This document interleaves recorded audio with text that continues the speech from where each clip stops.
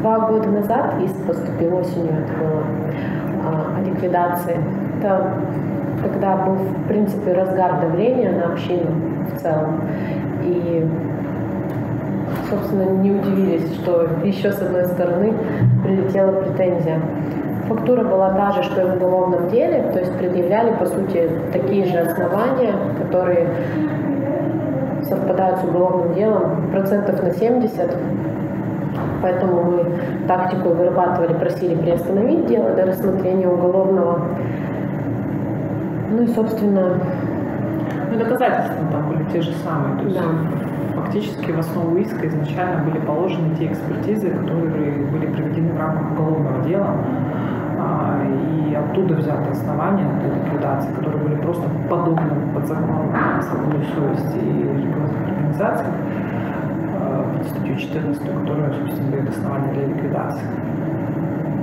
Да, и это было вообще копипаст вот этих вот э, экспертиз, поэтому экспертизы сумбурно сформулированы были с самого начала, поэтому мы ставили вопросы прокурору в самом первом судебном заседании, пытались конкретизировать эти основания, чтобы было конкретно почему возражать.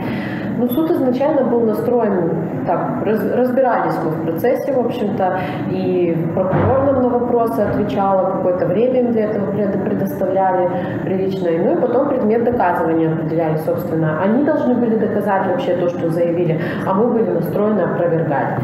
И ресурсы у нас все для этого были, потому что часть оснований были в принципе конкретные о том, что по факту происходит, да, например, в общине. Они там вменяли вообще все смертные грехи, от вегетарианства принудительного и проблем со здоровьем, смерти детей от отказа от медицинской помощи, такая была животрепещущая тема, разрушение семьи из-за того, что, мол, чуть ли не принуждение к треугольникам. Склонение к самоубийству. Самоубийству, да, было основание. Потом у нас были основания по отказу от, от э, ну, службы. службы, службы. Да. Принуждение тоже было. Принуждение, да. Принуждение к отчуждению имущества э, в виде, во-первых, десятины, во-вторых, а, обязательной продажи имущества там, и жертвования в пользу церкви. Ну, при, при переезде там, человек продавал дом, должен был якобы, по мнению прокуратуры, все деньги передать в церковь. Запрет выхода из религиозной организации, мол, нельзя выйти, потому что будет там порицание общественное такого уровня, что с ним человек не, может, не сможет справиться, если простыми словами.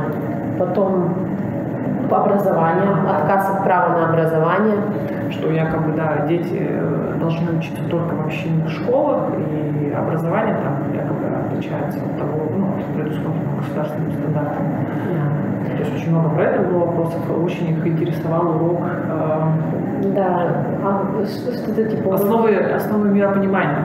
Да, основы да, миропонимания. Это, вот и висит ли портрет Виссариона в школе. Да. Вот, это все, все молодые ребята были спрошены об этом. А висел ли портрет Виссариона? А, ну и вот это более-менее все по конкретным вещам, которые мы могли фактами опровергать. Да, мы могли вот последователей привести. Они, а, еще брак, ранние браки, а, вступление в брак. Поощрение, да, э, браков несовершеннолетних и с несовершеннолетними. И поощрение половых связей. Да. Не с несовершеннолетними и между несовершеннолетними, что якобы это одобряется и всячески там, пропагандируется в общине. Это то, что та часть, которую мы могли опровергать, и этим мы занимались на протяжении года до того, как была назначена экспертиза. И была часть, с которой крайне сложно работать изначально. Это часть про психологическое давление и насилие. И даже нет смысла перечислять весь этот набор слов, но там и про манипуляции, гипноз, и про НЛП, все, что заканчивается на инк, и трудно доказуемо фактами конкретными. То есть это были выводы изначально эксперта первого, который в уголовном деле сформировал вот эту экспертизу про то, насколько разрушительный и тоталитарный ЦКЗ вообще. Ну да, потом это было поддержано а, заключением в отношении потерпевших по уголовному делу, в частности. Причем в это дело принесли только два заключения, это в отношении Кистерского и в отношении Безгирева. Да. да. Несмотря на то, что в уголовном деле потом потерпевших добавилось, они как-то их не туда сильно не вплетали. То есть им было достаточно этих двоих, и туда в том числе были положены эти экспертизы об установлении вреда здоровью. И это было лейтмотивом, собственно, всего процесса. Я предполагаю, вообще было сформирован этот иск на общем фоне давления, вроде как, а как мы еще можем среагировать на церковь, с учетом того, что по всем там из каждого утюга по телевизору показывают о ее разрушительности.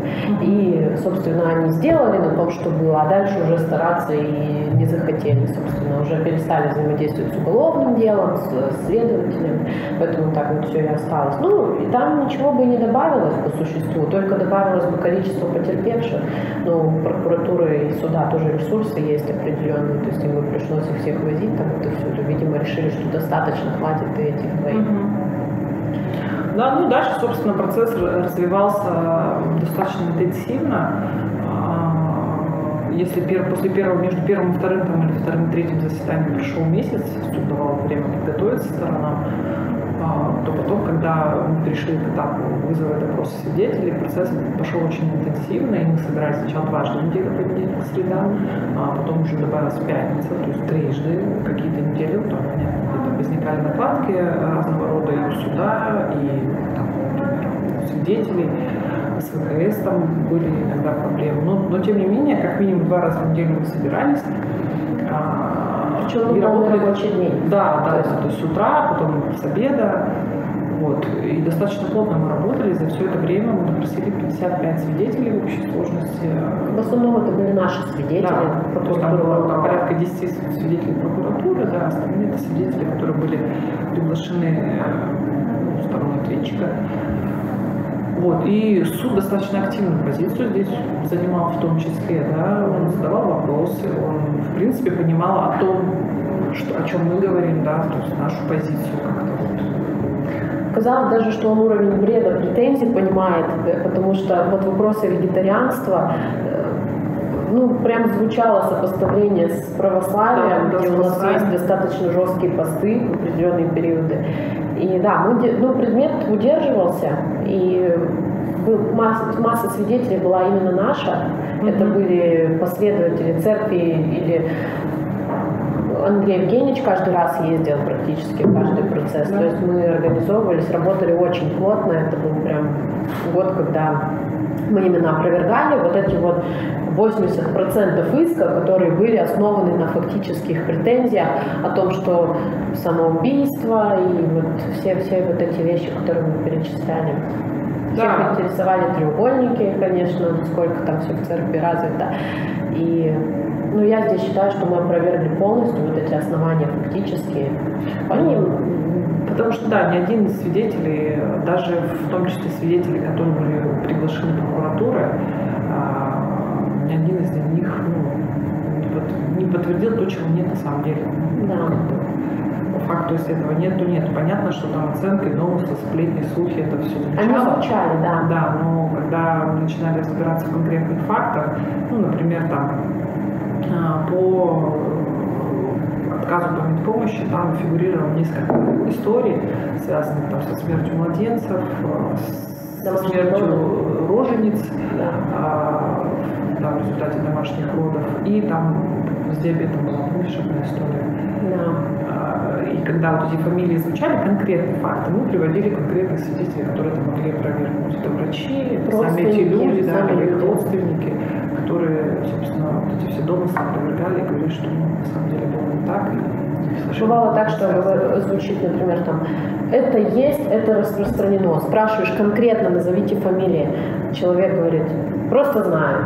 Да, ну про треугольники, да. Мы всех всегда, когда я говорю, да, вот треугольники, треугольники, когда начинаем спрашивать, максимум вспоминать там два-три истории. Две-три истории 30-летней давности. Да, которые потом также были, собственно, опровергнуты участниками этих историй, либо более близкими свидетелями те свидетели, которые явно были настроены, вот, которые прокуратура, в принципе, на которых она и ссылалась до конца, они в целом вообще свидетельствовали о событиях 20-летней примерно давности, то есть это последователи, которые давно удалились из церкви, либо это родственники последователей, которые изначально не одобряли выбор своих близких, которые стали э, последователями ЦПЗ. И, ну, собственно, были такие личные обиды высказаны в том числе. Да? Были мотивы понятные некоторых людей. Ну и в целом можно сказать, что по фактам они сказали правду, не сославшись на источники, то есть они действительно предполагают, например, или по слухам думают, что знают, что так было, и, но не подтвердили этого. Поэтому у нас в этом плане тут даже, даже эта экспертиза не смогла хотя мы предполагаем, что старательно пыталась, но не смогла вот эти факты установить, потому что все, что фактически можно было подтвердить, мы подтвердили. Ну, либо опровергли. Плюс еще по ходатайству защиты ну, ответчика, представителя ответчика были запрошены а, во всех районных отделах полиции, прокуратурах, ну, соответственно, Курагинского, Каратузского и какой-то еще получается. Курагинский, Каратузский, если Чухтецкий района проживания, ну, где населенные пункты, в общем, администрация, э, в полиции, прокуратуры, э, отдел по работе с несовершеннолетними, тех районов, в которых проживают последователи, были сделаны запросы относительно каких-то нарушений, преступлений, в том числе в отношении несовершеннолетних. А, была представлена статистика, были представлены там, какие, какие смогли они найти там истории дела, но ни одного по факту уголовного дела не было. То есть если какие-то и возбуждались дела, они либо прекращались, либо было отказано возбуждение уголовных дел. Это вот как раз э, эти истории со смертями, смертями детей, да, детей, которые в том числе в уголовном деле фигурировали. И э, там была одна история, связанная с отказом от э, служб, дело возбуждалось, но оно тоже было прекращено. Вот. И, э, а, ну и вот э, история с Кельми. Да. да. Интерпретировалась прокуратурой в другую сторону. Да. То есть, в принципе, если бы, как, какова была наша позиция, да, если бы вот это действительно все было так, как описывает этот прокурор, то наверняка э, правоохранители бы тоже поддержали эту позицию, это местные, да, места и фактуры было бы гораздо больше. Да? Это бы фиксировалось просто. Ну, в целом, любое действие следы оставляет, это не осталось бы бесследно. Община живет там множество лет, они не один год, не два, их знают абсолютно все. Поэтому у нас же допрашивались не только последователи, у нас допрашивались просто люди, которые проживают на территории Гурагинского района. Ну да, населенных пунктов, скажем, Бакубок. Да, вот, то есть мы работали достаточно так интенсивно, плотно. Но в какой-то момент э, ход процесса начал меняться. То есть судья начал активно лоббировать тему с экспертизой. То есть он начал предлагать сторонам. А здесь в это время мы немного брали паузу, потому что у нас в это время готовилось заключение наших специалистов. Это Панченко и другие специалисты, лингвисты, психолог, которые делали исследования по поставленным нами вопросам. Вопросы, соответственно, были сформулированы, исходя из требований. А, мы полагали, что представим это заключение, да, и, возможно, вообще, в принципе, отпадет необходимость проведения экспертизы, потому что это специалисты, которые обладают специальными знаниями. Экспертиза не обязательна в таких процессах. То есть суд может выносить решение на основании показаний и должен. Показаний свидетелей, иных документов, доказательств, которые представлены. Это нет такого, что есть экспертиза и все, теперь больше нам ничего делать не надо. Да, но суд как бы занял здесь жесткую позицию, сказал, нет, все это мне неинтересно, мне нужна экспертиза. Тогда мы, в принципе, уже поняли, что э, суд не хочет сам разбираться, не хочет условно брать на себя ответственность за это дело. Есть ему нужно мнение условно эксперта, который напишет так или так. На который можно сослаться и сказать, он специалист, он разобрался, мы не специалисты, поэтому мы верим. Да. До свидания. Вот, очень долго мы выбирали экспертное учреждение, нам, нами были предложены, соответственно, те, кого мы считаем независимыми, там, неангажированными, специалисты конкретные, либо учреждения. А прокуратуры же были по-моему, СКУ, только они предлагали, да. Причем, Причем не было анализа. Экспертов они предлагали, в том числе, вот как Релли Давида, Григорьеву предлагали, угу. да. Вот. Э, дальше судья э, что делает? Он в какой-то момент просто берет, назначает эту экспертизу. Причем э, ни одна из сторон не заявляла ходатайство. Это очень важно с процессуальной точки зрения. Да? Экспертизу может просить какая-то из сторон процесса, да, либо может судья по своей инициативе. А ни одна из сторон не просила. То есть мы, предлагали вопросы, мы предлагали экспертов, ну, потому что суд нас об этом просил. да, но мы не просили провести экспертизу. Мы даже возражали изначально. Да, Просто да. он сказал, было понятно, что суд ставит перед стороной вопрос, мы не могли не среагировать, иначе это случилось бы без нас. Да, то есть мы как могли хотя бы вопросы какие-то свои смогли поставить и сформулировать. И суд назначил экспертизу в СФУ, причем он просто написал определение В СФУ. Да.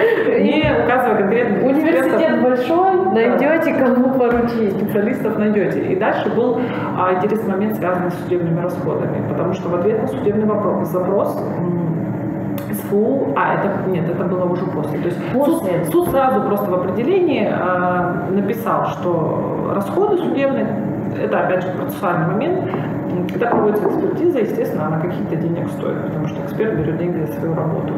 А обычно а, кто просит экспертизу, на того возлагаются расходы. А потом та сторона, которая проиграла, она возмещает эти расходы в случае, если это была не она. Вот. И, и суд, вынося определение, он сделал очень хитро. Он распределил эти расходы на сторону. То есть он сказал ответчик и истец пополам. Да, оснований законных вообще не было. Мы, мы смотрим, ну, ну как, как это может быть? Там в законе просто написано, по инициативе суда, значит, оплачивает бюджет. По инициативе ответчика, ответчик, истец. Ничего трудного вообще нет. Суд такой, при том, что процедура обычно строится, вот, ну, мы же заявляем эксперты, да, мы готовы, значит, его оплатить. Мы спрашиваем, сколько он стоит заранее. Мгм. Мы СФУ не заявляли, например. Мы Мгм. вообще против были назначения экспертизы в СФУ. Ни суд, ни прокуратура, никто не запросил, сколько вообще это будет стоить. До назначения. До назначения, да. Я прям э, думаю, если бы мы в апелляции это не изменили, как бы вообще строилось это все? Прям совершенно. Ну да, вот постфактум в СФУ, а потом разберемся, сколько стоит, кто будет Сроки, делать. главное, да. Сроки, Причем да. в определении были указаны сюда сроки, там причем по- им месяца какие-то, три, да, да, да. Изначально. А Мы это определение обжаловали. Конечно. Там просто, во-первых, была сумма. Это было больше 12 миллионов. Нет, тогда, еще, Тогда еще не было, да. Мы просто обжаловали определение, а, потому что полагали, что нарушен закон назначении, да, что вот эти расходы распределены на стороны, когда стороны не просили. Не хотели вообще. И апелляция отменила в этой части определения и э, исключила распределение на стороны, ну и, соответственно, экспертиза оплачивалась, ну проводилась за счет ну, бюджета судебного департамента, ну, фактически федерального бюджета. Вот, и дальше каким образом развиваются события. То есть суд дает на экспертизу три месяца, А, направляет запрос в СФУ, СФУ им отвечает, что они будут экспертизу делать год. То есть это было в августе 2021 года, они скажут, что именно 31 августа 2022 года срок для проведения экспертизы нужен. И цену И указывают. чек появляется. Да, то есть 12 там больше, больше на 12 300, кажется, да, была такая цена. Все мы были немного удивлены. Да, мы даже пытались представить, что за эти деньги может быть за исследование в течение года. Честно говоря, предполагали, что может быть полевое исследование, да, эксперты поедут в общину, например, месяц поживут, проинтервьюируют там людей, Ну да, как бы это должно было быть по-хорошему. Да, это нормальные методы полевого исследования, да. Э, Как-то кажется, читать материалы дела за 12 миллионов целый год, это как-то Чересчур. чересчур, да, мягко говоря. Поэтому мы предполагали, что что-то будет. Но, разумеется, наблюдали, никаких движений не было вообще. А, ну, когда мы узнали срок и стоимость, мы заявили ходатайство судье о возобновлении производства, что, ну, поскольку назначая экспертизу, он эти моменты не уточнил. А тут это стало очевидно, а, и мы заявили ходатайство о возобновлении, чтобы он мог либо переназначить, либо, ну, как-то скорректировать свою позицию, но он отказал, как бы, дав понять, что его устраивает и цена, и срок проведения. На тот момент было уже понятно, что эта позиция, связанная в целом с подходом к делу, что суд не откажется от этой экспертизы, будет на нее опираться до самого конца. Да, да, то есть тогда мы уже иллюзии наши э, относительно э, настроя судьи разобраться в этом деле не развеялись. На тот момент мы имели такую, такой расклад, например, там, заявляется отказ от предпринимательской деятельности. Мы приводим нескольких предпринимателей, которые про разный бизнес рассказывают в общине. Там, отказ от медицинской помощи. У нас приходит врач, говорит, прививаются, пьют таблетки. Свидетели прокуратуры говорят, я что, не выпью таблетку, если у меня болит голова? И так далее. И так по каждому основанию. Ну вот мы вот остаемся с вот этим и определением на год экспертизы. То есть год работы, и сейчас еще год будут работать эксперты. Процедура эксперта, экспертизы непрозрачна была абсолютно. То есть вот что они делали в этот год, непонятно. Но судя ну, по судя по заключению, они работали условно месяц, то есть потому да. что подписку у них э, датированная экспертиза 31 августа, а подписку у них отобрали там, 21 сентября. Да. То есть вот где-то, видимо, дат нет. Экспер... Обычно нормальный эксперт пишет, что исследование проводилось в период с такого такой-то, то есть экспертиза начата в такой-то этап, срок закончено и так далее. У них одна дата стоит, это просто дата на заключение. Об этом уведомляется суд вообще о ходе экспертизы, потому что, ну, логично, да, суд платит, суд ждет для своего mm-hmm. процесса. Но здесь это вообще абсолютно не было. Судя по экспертизе, они просто почитали материал дела, еще и не все. Потому что у нас там очень вольный подход к цитированию последнего завета, очень вольный. Где-то вещи, которых вообще нет в последнем завете, которые проверял вот Андрей ну, Евгеньевич. Да, да, да, там послед, вариант последователей, да, потом свое меня выражали относительно цитирования, там вопросы к этому есть. Люди, которые знают последний завет, э, прям отмечают о том, насколько не конкретно, во-первых, интерпретация. Либо вырвана из контекста, да, и дана своя интерпретация там вольная, либо просто неточная цитата, либо вот Андрей Евгеньевич там приводил случай, когда э, такого вообще, вообще ну, нет как это выдуманные цитаты, я не знаю, где уж они взяли. Да. А я думаю, взяли они это из экспертизы Астахова, а? которая была первоначально, потому что там, очевидно, такой вот надерганный из разных частей материалов дела, это все, поэтому, да, не перепроверили просто. Но там есть буквально вот, ну, логика работы с текстом профессиональная строится на том, что ты ссылаешься, где это найти. Собственно, угу. если... Чтобы, чтобы стороны могли проверить. Там, да, да, да. Да. То есть там есть некоторые, допустим, там декларация. Виссарион говорит, двоеточие, фраза, где Виссарион это говорит. Ну, прям абсолютно пустота в этой части. Да, ну и вот, да, вернемся к процессу, собственно, в конце сентября. В августе они продлили еще дату, время проведения экспертизы, они не успевали, и еще больше времени потребовалось. Но в конце сентября мы узнали, что пришла экспертиза. Да, нам позвонил помощник, мы, конечно, очень э, с нетерпением ждали, ознакомились с заключением. Ну, во-первых, нас э, в первую очередь удивил объем. То есть, полагая, мы полагали, что за год проведения экспертизы, за ту сумму, за которую она была проведена, как бы оно должно было быть более объемным. Я еще у помощника спрашивал по телефону, сколько томов экспертизы, сколько человек мне брать, чтобы познакомиться. Ну, наверное, один том. А в итоге экспертиза у нас 321 да. лист, кажется. Да? Чуть больше 300 страниц. Да, мы прикинули, что 40 тысяч за, за страницу, да. да. А причем обычное дело, объем дела это 250-300 листов. То есть это реально один, один том, том дела. Да. То есть у нас, принципе, 12 томов, 15. 15 томов по существу, плюс последний завет. Да? И вот ну, люди-то вот это должны были исследовать. Даже ссылок должно было быть ну, явно больше. Конечно. огромный последний завет с тем, как это применяется. А, мы прям книжки приобщали, поэтому да. Вот, и, собственно, когда э, суд получил эту экспертизу, процесс резко изменил вообще свой характер, свой, свой вектор. Э, после того, как пришла экспертиза, да, как мы возобновили производство по делу, до вынесения решения прошло четыре судебных заседания. А, в первом судебном заседании мы, собственно, собрались, возобновили производство по делу, и суд предложил э, прокуратуре уточнить свой иск, потому что даже в этой экспертизе часть оснований, которые они заявляли изначально, они исчезли. Да, это воинская служба, вот этот отказ, это образование, нарушение права на образование, это суициды, это Эксперты не нашли, помощь, да, все, что связано с ограничениями в питании. То есть ничего этого не осталось. Даже эксперты, как бы они там ни старались, но... Условно, из 20 компрометирующих вопросов, да, эксперты на 18 ответили нет, не найдено, нет, не обнаружено в материалах, там, не обнаружено ни призывов к самоубийству, ни одобрения самоубийства, ни отказов от медицинской помощи, ничего подобного. Да, ну и, естественно, прокуратура как бы здесь не могла уклониться, да, они вынуждены были уточнить свой иск. То есть следующее заседание они принесли уточненный иск, а, соответственно, нам суд дал время с ним ознакомиться свою позицию сформулировать. Это были два судебных заседания, вот просто по процедуре. Вот люди Чисто ну, приходят, да, процессуально надо дело возобновить. Вот оно приостановлено, да, надо ему движение придать. Поэтому пришли, обсудили этот вопрос, возобновили. Прокурор тоже, ну, принес новый документ, идите читайте. То есть по существу работы не было. Мы не допрашивали никого, ничего не читали. Да. да, ничего подобного. А третье судебное заседание развернулось.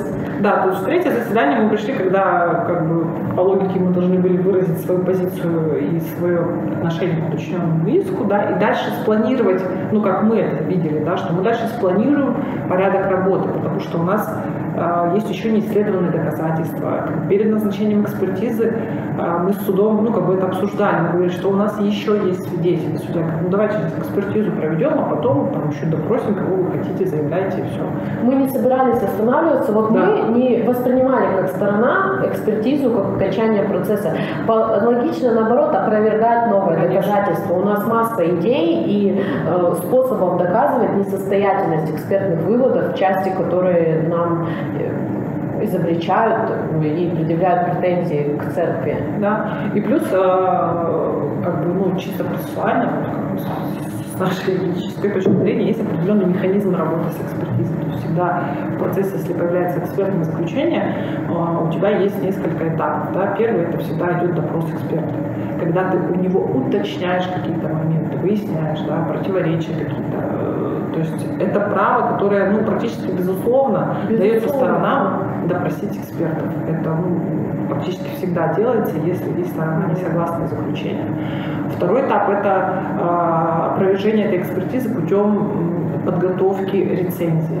То есть, э, как это обычно делается, находится другой эксперт или специалист, которому ты даешь эту экспертизу, он ее читает и говорит, нарушены вот такие методики, например, здесь вот вывод не обоснован. Ну, то есть критикует как эксперт сам, сам ход, то есть не по существу, а именно процедуру, что экспертиза проведена с нарушениями.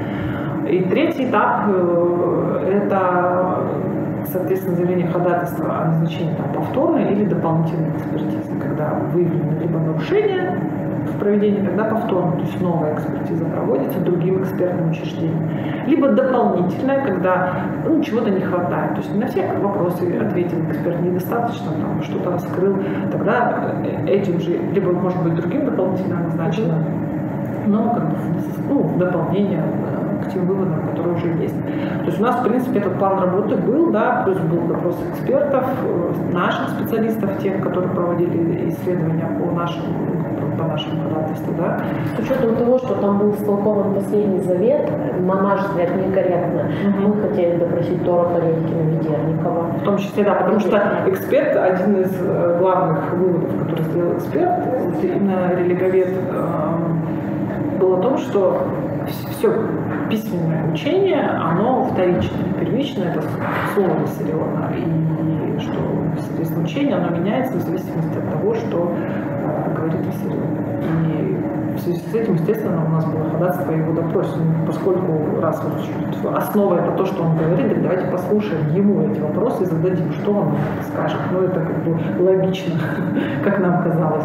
Но не суду. Мы этих людей заявляли, в принципе, в качестве заинтересованных лиц. Мы с самого начала говорили, уважаемый суд, нельзя игнорировать, что они здесь есть, что на их слова ссылается каждый в этом процессе, и мы, и другая сторона. И Давайте мы их пригласим. Ну, суд вообще не увидел связи между Редькиным и Торопом и этим судебным разбирательством, хотя, казалось бы, вроде очевидно. Если каждый день фамилию говорим, наверное, как-то это связан человек.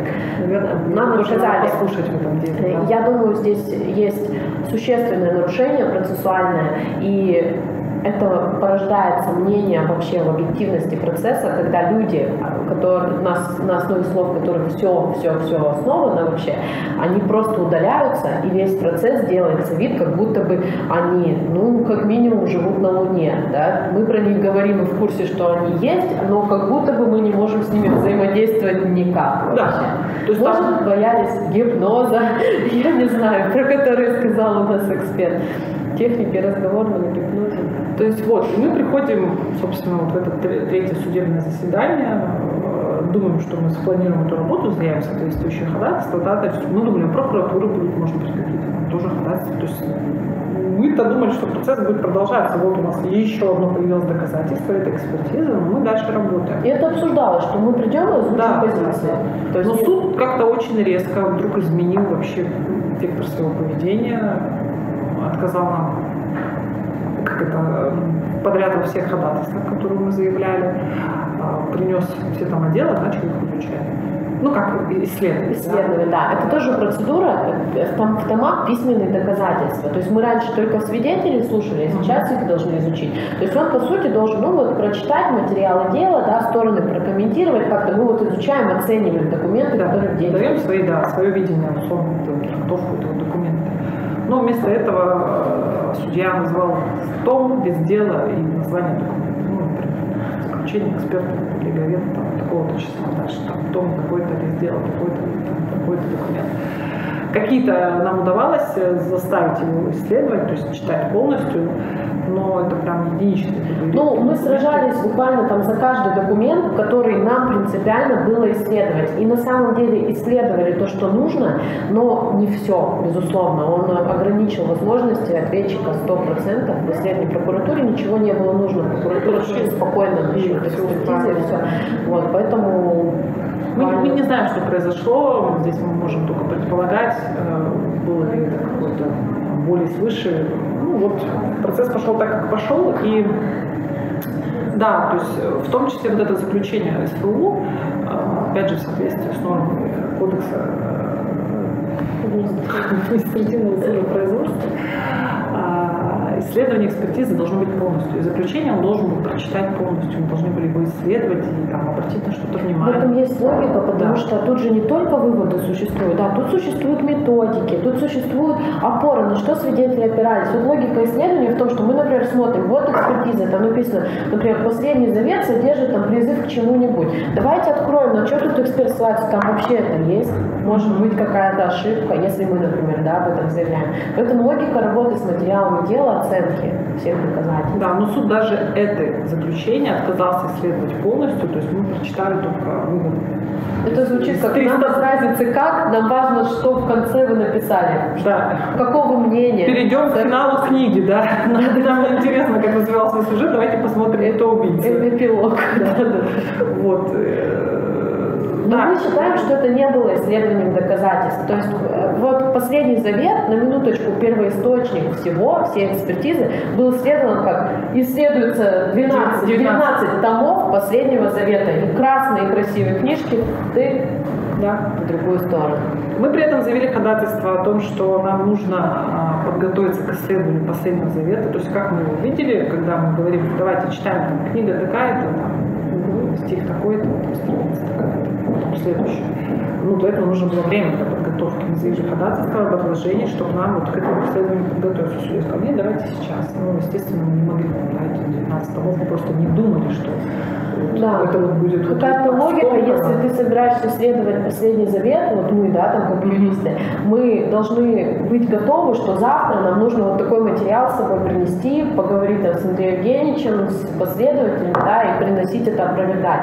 А ну, с таким же успехом вообще любые книги, допустим, можно исследовать. Прочитать, найдите здесь то, что вам нравится. Да, вот 19 томов говорили, что, что вы можете читать, да. То есть вот так это было. Не удалось нам, несмотря на заявляемые возражения, то есть мы процессуально, юридически реагировали на это, да, мы заявляли возражения в процессе, мы заявляли которых нам было отказано во всех. Одно удовлетворили, окно закрыть. А, да. Это был циничный процесс на самом деле, потому что, ну, во-первых, судья нас не предупредил о том, что, ну, обычно, как это делается обычно, в нормальных процессах, судья говорит, вот, все, завтра будем исследовать материал дела, ну, условно. Мы, например, организуем присутствие Да, Андрея Евгеньевича, то есть, минимум. да, кстати, не было же, да, Андрея Евгеньевича, потому что процесс должен был быть чисто формальный, то есть мы должны были определить дальше стратегию и двигаться. А обычно стороны предупреждаются, чтобы стороны могли подготовиться. А тут это вот так вот было. И нас не отпускали, не объявляли перерыв, просто там для справления естественных нужд, там, не, не обеда, ничего. Буквально за закрытыми дверями и вот... Насильно удерживали. Да-да-да. Препятствует нашему выходу из кабинета. Да-да-да. Да, единственное, о чем когда мы просили, когда мы замерзли, очень сильно было открыто окно, мы просили закрыть все окно. Он сказал, вот видите, я ваше ходатайство удовлетворил даже без обсуждения. Так я говорю, это был верх цинизма вообще. Решение было принято, очевидно, и можно... Ему нужно было соблюсти формальные этапы, да. исследовать. Что в протоколе написать, что оно было, да. а по содержанию уже не интересовало ничего. Абсолютно демонстративно скучающий. Судья, да, да. чуть ли не в носу ковыряющийся. Листающий ежедневник, какой-то там взял еще что-то, листает. Прокуроры мечтательные. Телефон сидящий. Господи, опять этот последний завет. Ну что вам непонятно? Есть экспертиза, все достаточно. И все, то есть вот э, это получается в пятницу, да? Это было пятница до вечера, до да, самого да, вечера. Да, то есть мы вышли из процесса пол шестого. И, и суд сказал, что ну, в понедельник в 11 время. А прения, ну, это такой этап, опять же, в нормальных процессах, как у нас эксперты делили э, религиозные течения на нормальные и да. учение церкви последнего завета. Так и мы будем делить процессы на нормальные и, и ликвидацию церкви последнего завета. Да. Так вот, в нормальных процессах а, к прениям стороны готовится. Суд дает время всегда, как минимум там, неделю хотя бы, потому что прение – это когда каждая из сторон по результатам всего-всего-всего процесса дает свое видение, оценку доказательств, свое мнение, там, нормы закона приводит и как бы обосновывает свою итоговую позицию по делу, говорит, ну, какое нужно условное решение принять с этой точки зрения. Прения приобщаются в письменном виде к материалам да. Логично, когда судья обращается к ним, изучая позицию сторон. По логике он должен отзываться на наши аргументы. Да? Почему он, например, считает, что прокуратура в этой части права, а не мы. И это анализ всего вот по сути мы должны были весь процесс за два года проанализировать, да, и представить свою позицию. Итоговую. Высказаться да, по, по всем доказательствам, по всем основаниям. И он нам дает времени, условно, полтора часа рабочего времени в пятницу, ну, это если до шести мы берем. Да, да, да. Не полтора, а пол, полчаса. Полчаса, полчаса, да. да. Полчаса рабочего времени в пятницу и, соответственно, два часа рабочего времени в понедельник. В понедельник 11 утра. Да, да. Мы... Я, я, на что мы заявили ему возражение, ну как вы нам предлагаете за, полтора, за два с половиной часа подготовиться к трениям по такому делу, то есть кому у всех одинаковых условий. Куда была эта спешка, мы не понимаем. Мы просили хотя бы дайте нам до вторника время. Хотя бы вот один день нам еще дайте подготовиться, вот вполне категорично. Хотя ничего не мешало. Во-первых, дать нам представить дополнительные доказательства, да, ну, как минимум один день мы бы привели свидетелей. Мы бы привели свидетелей, мы бы дали объяснение, Андрей Евгеньевич бы их дал. И ну, еще были, были ресурсы, мы, ходатайства были, там, об исключении экспертизы нам пришлось их заявлять в другом формате, судья сказал, будет оценивать при принятии решения ничего не мешало дать это. Мы нельзя сказать, что мы тут полгода сидим в процессе и ничего да, не делаем. Не делаем. Было единственное судебное заседание по существу, которое прошло за день, полный рабочий день, в котором исследовано огромное количество, ну, исследовано домов дел. Вот, и, собственно, да. Потом мы ждали интересные выходные. Да, и до вечера самого в пятницу, и все выходные, и понедельник мы, конечно, готовились к прениям судебным. Это было принципиально, хотя мы понимали, что это бесполезно. Да, к чему идет процесс, что решение уже принято, нам это продемонстрировали всяко, как только могли. Ну, собственно, работали с прениями. Прокуратуре было легче, им достаточно экспертизы, больше ничего не надо. Мы занимались главным образом в прениях анализом экспертизы. Ну, поскольку это основной документ, на котором позиция прокуратуры строилась, уточненно, в целом экспертиза выглядела так. Там была религиоведческая часть, которая э, анализировала именно учения последнего завета, да, и анализировала показания свидетелей. И они вот отвечали как раз на эти вопросы, где, которые все, что мы написали, все, что про медицинскую помощь, про все, и никаких нарушений там. Ну, просто нет, не обнаружено, нет, не содержит там материалов церкви последнего завета, призывы к самоубийству и так далее. Вот. Самые у нас из оснований, которые, с которыми мы остались в прениях, которые мы опровергались, это у нас осталось принуждение к разрушению семьи, угу. запрет выхода из общины, из религиозной организации и насилие. А, несовершеннолетний, да, Да, несовершеннолетний, допущение да. там, да, браков и половой связи между несовершеннолетними и с несовершеннолетними. Имущество, принуждение к отчуждению имущества осталось. И все, а остальное все это психология. То есть Да, вот да, это психологическое насилие. Причем тоже э, очень интересно это сделал эксперт, и вслед за ним это сделала прокуратура. А, Там ряд вопросов э, формулировался перед экспертом, касающихся вот как раз вот этого психологического насилия, каких-то нарушений. И вот это все описывается, описывается, а дальше стоит вопрос, а могли ли последователи, могут ли последователи осознавать, что на них оказывается вот это психологическое воздействие, психологическое насилие? И эксперт ответил, нет, не могли.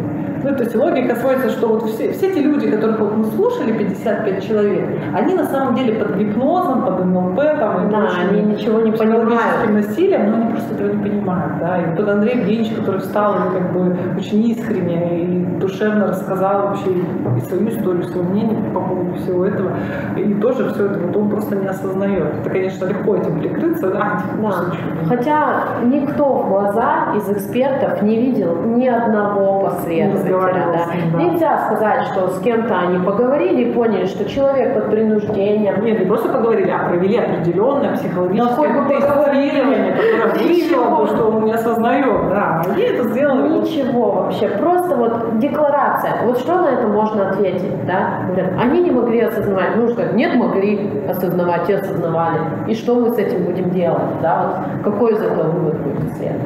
Да, и э, как строился, собственно, вот этот день, когда было вынесено решение. То есть э, прения, ну, по, опять же, по процессуальным нормам, прения начинает истец. То есть выступила прокуратура достаточно коротко. А, нет, мы здесь э, хитрость определенную сделали, Да. поскольку в пятницу все те ходатайства, которые мы заявляли, мы заявляли устно, да, и мы боялись, что они могут быть не отражены в протоколе, да, исчезнуть. А Мы подготовили все эти ходатайства письменно, продублировали, сделали обоснованными. Восемь ходатайств, да, мы Восемь подготовили. ходатайств и направили их по допросе экспертов, о допросе специалистов, о допросе дополнительных свидетелей, о допросе Тора Политикина Ведерникова, а, об исключении экспертизы как доказательства, потому что мы полагаем, что она была проведена и назначена с нарушением процессуальных норм определенных, да. А, что еще? Ну, с возражением на Свидетели еще до того были. Возражения на действие еще, да, э, по процедуре. И про, э, ходатайство о возобновлении дела. Обследование, да, Об обследование последнего завета, где мы уже конкретно указали, что нужно возобновить и исследовать последний завет конкретно там в частях. э, определенные там, да, те моменты, которые мы полагаем необходимо было прочитать. Мы считали, что это должно быть в деле, если судья действительно так уверен в том, что он не нарушает наши права на представление Мгм. доказательств, пусть отказывает нам вот буквально в бумагах. Да, и поскольку мы боялись, что в процессе он нас ну, не даст нам возможности, потому что он вроде как процесс окончил, да, и перешел к прению, мы их отправили в воскресенье вечером через систему газ правосудия, это вот система документ, э, электронного документооборота, да, когда непосредственно в суд документы поступают. Их нельзя выбросить из дела уже, потому что вот они вот прям штампик стоит, и они пришли суду на стол. Да, то есть не взять он у нас их не имел права, то есть они к нему пришли, э, и процесс он начал с того, что, ну, как бы, да, мне поступили ваши бумажки, буквально, да, я их всех приобщил к материалам дела, и вот так он это делал. Так, ходатайство без требований там, о о допросе специалистов отказать, ходатайство о допросе эксперта отказать, ходатайство там, о допросе там, отказать, и вот, вот он так Он рассмотрел буквально пару ходатайств, вот нормально рассмотрел, обоснуйте там эту часть, об- обоснуйте там, а вы отзовитесь. Остальное, вот ходатайство, например, о том, чтобы Андрей Евгеньевич дал объяснение стороны, это прям, ну, это право стороны дать по- пояснение по делу. А он э, прочитал и говорит, «А, вы ра- выскажитесь в прения. И от- отложил. Я потом говорю, поясните, пожалуйста, вот я бы хотела по этому ходатайству высказаться, да, и хотела бы услышать мнение сторон, потому что никаких оснований отказывать нет. Сторона здесь, она готова дать пояснение, он не был опрошен ранее. Судья сказал, я разрешил это ходатайство. То есть это вот был такой вот вид, буквально прочитал, от меня, да. потом. Вот, и, собственно, мы перешли к судебным прениям, Да. поскольку уже все остальное суд посчитал сделанным. Выступила прокуратура достаточно коротко, мне кажется, они там здесь Минут 15, да, не больше. Да, То есть Два представителя прокуратуры очень быстро, ничего выходящего за пределы экспертизы не было. Добавка... Цитировав определенные выводы экспертов, да. Ну и добавлены фамилии нескольких свидетелей, которые выступали, ну, собственно, фразы интерпретируются прокуратурой против угу. церкви последнего завета. Все. Это было очень коротко и понятно. Да, дальше ожидаемо. Собственно, начались наши прения, и здесь э, сначала мы дали право высказаться Андрею Евгеньевичу, как, собственно, непосредственному участнику всех событий, да, представителю церкви, и он рассказал а, и о своей истории личной, да, и в том числе э, о его личных взаимоотношениях, потому что именно его фамилия звучала в ряду треугольника, о которых вспомнили свидетели, как об одном из случаев, да, ему, собственно, прояснил, в чем там была э, ситуация. Андрей, а дальше он начал цитировать, цитировать да, последний да. завет, те места, которые как бы опровергали доводы экспертов. Тактически мы это сделали, потому что нам не дали прочитать последний завет в судебном заседании. В прениях мы можем говорить все, что относится к предмету спора, и мы можем, судья нам сказал, вы можете ссылаться на это в прениях. Поэтому мы, собственно, если суд не хочет изучать это в процессе, значит, мы имеем право процитировать это в прениях. Ну да, поскольку они формально исследованы, да. все эти доказательства в деле, значит, мы все на них мы можем ссылаться на все 19 томов той части, которую считаем нужной. Вот, судья был не готов, видимо, к этому, он не думал, что мы так э, э основательно э, будем свою успеем. позицию да, предъявлять, и что мы успеем подготовиться так хорошо. Я думаю, специально нам дался сокращенный срок, чтобы... Побыстрее. Да, чтобы мы быстренько там что-то не успели, в общем, подготовиться качественно, и чтобы это все быстро прошло. А, он попытался остановить Андрея Евгеньевича, да, но это, опять же, грубое нарушение процесса, потому что нельзя речь прениях прерывать, потому что страна, если, ну, то есть, говорится по существу, понятно, если там человек начнет цитировать, там, не знаю, Льва Толстого, это уже не да, очень да. имеет отношение. Но если ты высказываешься по существу, ссылаешься на доказательства, это абсолютно недопустимо. Это прямая норма кодекса, там прямо говорится, что в прения могут быть прерваны в единственном случае, когда лицо говорит не по предмету. То есть, условно, там, историю стран Западной Африки слушать суд не обязан, обязан, если это не относится к предмету спора, но последний завет здесь относится полностью. Да, но мы были на это готовы, то есть мы Андрею Пинчеву как бы, ну, объяснили, как нужно среагировать, и мы среагировали. Судья понял, что мы готовы к его такому поведению, да, и как же придется успокоиться, да. Потом Следующая часть у нас большая была касалась как раз тех нарушений, которые были допущены не процессуально, в том числе при исследовании доказательств. Судья тоже этого не очень хотел слушать. Да, хотел прервать. Напишите в жалобу, да. если вы будете не согласны с решением. Тут мы тоже мы дали понять, что мы не будем молчать, и мы скажем все, что мы да. хотим сказать, а хотим мы сказать много. Да, это была наша обязанность отреагировать на процедурные нарушения, потому что это в том числе а, наша позиция, потому что это решение не может быть обоснованным когда процесс так закончился. Это незаконное решение просто потому, что процедура была не соблюдена ни с одной стороны. Вот, ну, буквально последних процессах. До экспертизы у нас вообще никаких претензий. Ну, как бы не то, что никаких, ну, в принципе, процесс, да. Нам давали работать. Нам давали работать, да.